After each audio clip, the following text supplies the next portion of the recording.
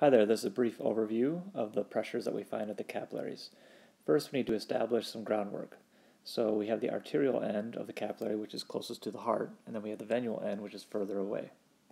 Within the capillaries, we have big plasma proteins called albumin, and these are made from the liver. Albumin is too large to leave the capillary, and water from the interstitial fluid is attracted to the high osmolarity of albumin within the capillary.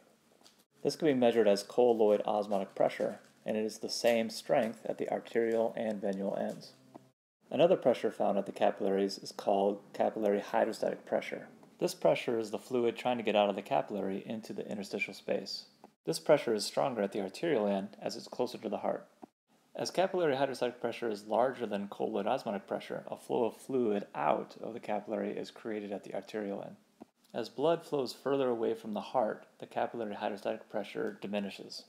At the venular end, the colloid osmotic pressure is larger than the capillary hydrostatic pressure, which creates a flow of fluid back into the capillary.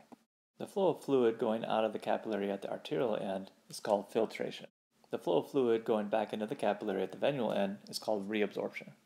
It should be noted that around 90% of the filtered fluid that reaches the interstitial space is reabsorbed back into the capillaries.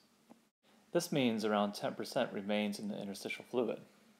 The lymphatic vessels will collect this 10% of fluid. Now, if a person has hypertension or high blood pressure, their capillary hydrostatic pressure will increase.